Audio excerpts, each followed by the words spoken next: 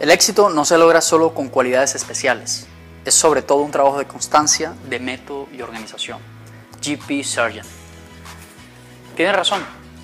De nada nos sirve encontrar nuestro talento, nuestra capacidad de hacer cosas, algo en lo que somos naturalmente buenos, si no podemos tener una estructura, un método que nos permita avanzar. En G&G Coaching hemos creado el método 4D, que consta de cuatro pasos. Te voy a explicar cada uno de ellos. El primer paso consiste en el diagnóstico.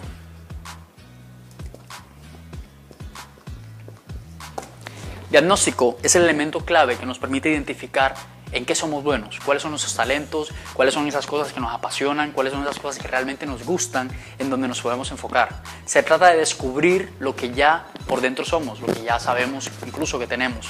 El diagnóstico nos permite identificar realmente dónde está el problema. El diagnóstico es como trabajar en las raíces, es como enfocarse en lo que es verdaderamente importante. El segundo paso que tenemos tiene que ver con el diseño. ¿Diseño de qué? El diseño es fundamental porque el diseño nos ayuda a crear un plan, una estrategia a seguir, un modelo, un plan de acción con objetivos, eh, con pasos, con actividades secuenciales que nos permitan tener el resultado de las cosas que queramos plantear, ya sea a nivel, no sé, si quieres crear tu empresa o si quieres eh, tener, eh, conseguir un nuevo trabajo o lo que sea que quieras pensar. Tenemos que tener un plan. A veces se dice por ahí que fallar en planear es planear para fallar tienen toda la razón. La planeación es importante para el logro de los objetivos que queremos. En el tercer lugar, tenemos el desarrollo. Y el desarrollo es ese momento de tomar acción, hacer cosas.